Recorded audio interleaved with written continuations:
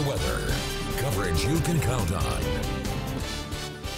Court's here with us now. Court, I saw some videos coming in of just really heavy rain out there. Yeah. Not too bad this morning. And but hail, Hail. this afternoon. Yeah, we've Yeah. had uh, videos coming in of hail in Corning. We just, I was just sent a message about hail coming down at the Feather Falls Casino Uh-huh. area right now. We've had some very active conditions this afternoon, and it looks like that's going to continue maybe for the next hour or so. But for the most part, we've seen the heaviest of what we're going to see moving through as far as the valley goes. This evening, it looks like that's starting to diminish a little bit, but we're still seeing a chance for more valley showers and even thunderstorms on the way as we head into your Wednesday. Mountain areas still seeing more rain and snow, mostly in the way of snow overnight through tomorrow. Snow levels dropping a little bit for the Sierra. We'll see a dusting down to 2,000 feet, mostly down to 3,000 feet though for the snow levels. For the northern mountains, we'll see that down to as low as 1,500 feet, and then dry and mild late this week. We'll see a chance for some showers in the Sierra on Thursday, but most areas drying out Thursday and Friday. As far as what we're seeing outside right now, 54 degrees in Chico. We did see some showers through a little bit ago. That's mostly clearing out at the moment. Winds out of the southeast to 20 miles an hour. So winds have been strong again this afternoon,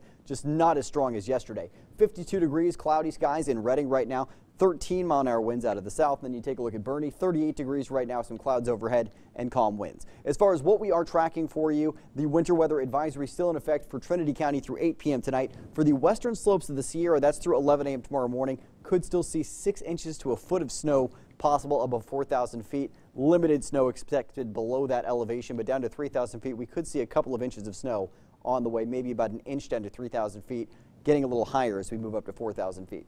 Satellite and radar, very active conditions this afternoon. You can see Tehama County seeing thunderstorms rolling through earlier. We're still tracking a cell there with heavy hail falling in Corning just about 15 minutes ago. Meanwhile, as you take a look at the northern end of the valley, we're tracking some heavier showers there. The mid-valley areas, especially Butte County up into the foothills, that's where we've tracked the thunderstorm over the last half an hour. That's mostly up in the Feather Falls area, just upwards of Oroville right now. That's where we're seeing the most active conditions at the moment. And as we head into tonight, we're still seeing more of that active weather rolling through, but it's going to become more shower-like overnight through tomorrow as low pressure continues to progress through to our west or our east rather, and that's what's going to really wrap up the chance for those widespread active conditions. So what's going on? Your future cast, we're seeing scattered showers possible overnight through tomorrow afternoon. That starts to ramp up a little bit more, especially in mountain areas with the chance for valley showers and thunderstorms returning for your Wednesday afternoon.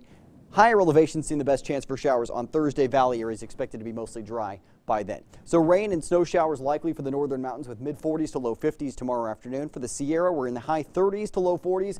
Snow showers for the most part there. It looks like might to light to moderate snow showers through the afternoon. Showers and a chance for thunderstorms in the foothills. We'll see a chance for a mix of rain and snow down into paradise overnight into early tomorrow and then mostly rain by tomorrow afternoon. And if you're in the valley, temperatures in the mid 30s with the chance for showers overnight. The chance for showers and thunderstorms mainly in the afternoon tomorrow with mid to high 50s. Mid valley areas in those high 30s to low 40s for the start of your Wednesday, ending up in those mid 50s to high 50s with that chance for more thunderstorms tomorrow afternoon. Now, Haley, as we take a look at your extended forecast, we do dry out heading into your Thursday with temperatures back in the low 60s Thursday and Friday in the valley, and then another wet system passing through to our north as we head through Saturday. That'll bring light showers back to our region Saturday possibly extending into Sunday. Latest models have us drying out by then, and then we get back into those low 70s with dry weather for the start of next week.